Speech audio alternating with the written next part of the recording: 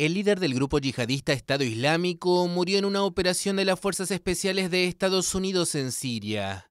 El presidente estadounidense Joe Biden anunció el jueves que su ejército sacó del campo de batalla a Abu Ibrahim al-Hashimi al-Qurashi, más de dos años después de la eliminación de su predecesor Abu Bakr al-Baghdadi.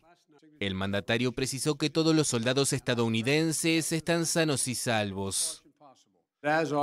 Cuando nuestras tropas se acercaban para capturar al terrorista, él, en un último acto de desesperada cobardía, sin tener en cuenta las vidas de su propia familia o de otras personas en el edificio, eligió inmolarse y hacer volar ese tercer piso antes de enfrentarse a la justicia por los crímenes que ha cometido.